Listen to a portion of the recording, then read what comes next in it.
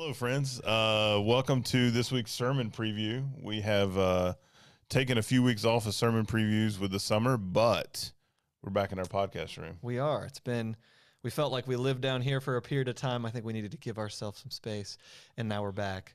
Uh, Luke and I will be preaching this week, um, kind of wrapping up a mini series on the minor prophets. You heard uh, me preach from Micah, Luke preach from Joel, Rob preached earlier in the summer from Amos. from Amos, and now we're going to be bringing the word from Hosea, um, Hosea chapter 11, verses 1 through 11. Now, Luke, would you call the book of Hosea a happy one?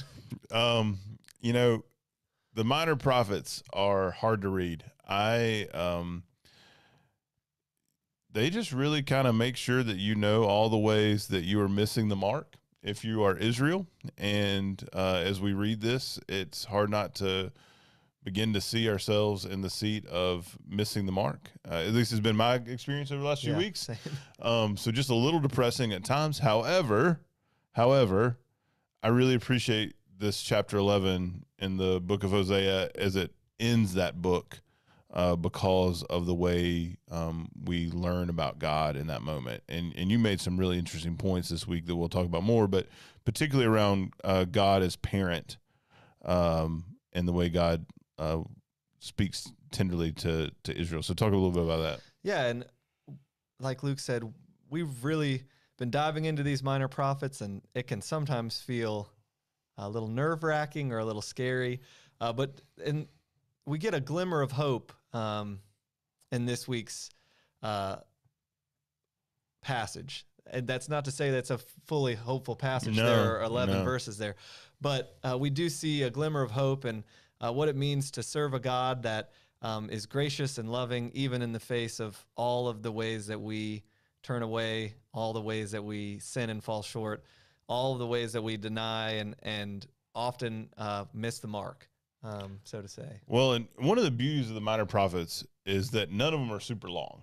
Yeah. So this one's 11 chapters. Uh, One of the things I'd encourage you to do if you see this on Friday or Saturday and you have a few minutes is to skim the book of Hosea.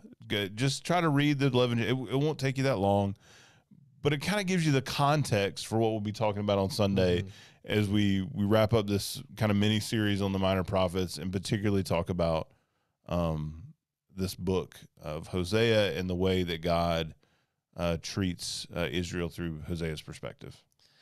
Yeah. And so this week we will be preaching. We'll have great music. Also, I want to point out that this week after worship, uh, there will be an open house at Bethesda United Methodist Church, which is at uh, 315 Old Haw Creek Road uh, in East Asheville. Luke and Rob made a video that you'll be able to find probably the same place that you're finding this, either on YouTube or in the weekly e news. Uh, to tell you a little bit more about that space and that project that's coming up.